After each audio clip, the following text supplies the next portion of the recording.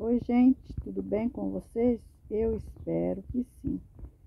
Para você que não me conhece ainda, eu sou a Sueli e você está no meu canal Sueli e suas plantas.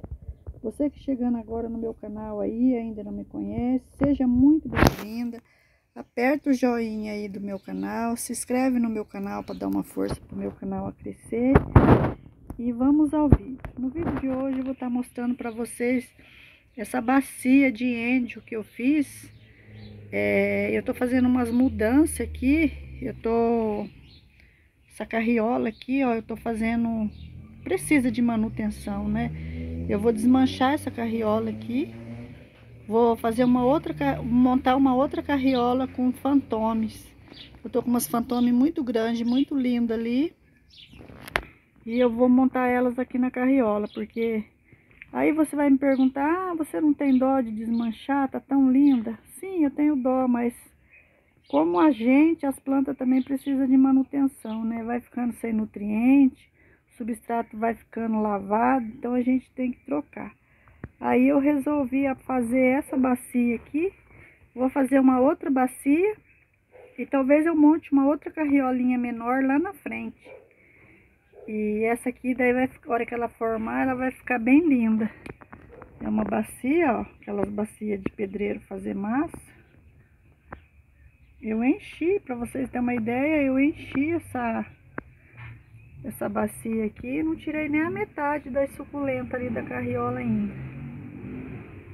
E começou a chuviscar aqui, eu vou ter que parar e deixar para continuar, talvez amanhã ou depois de amanhã, se o tempo afirmar. E aí eu vou fazer uma carriola de fantome, vai ficar também muito show.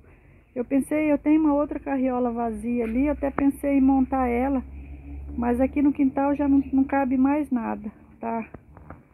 Tem tanta mesa enfiada aqui nesse quintal que não cabe mais nada aqui.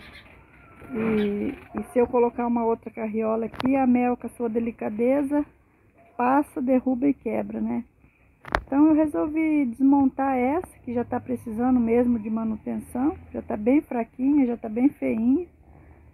E vou fazer um, um novo replante delas, para elas ficarem novamente bonitas. Porque a índio é bem bonita, mas aqui ela já está bem desnutrida, bem feinha.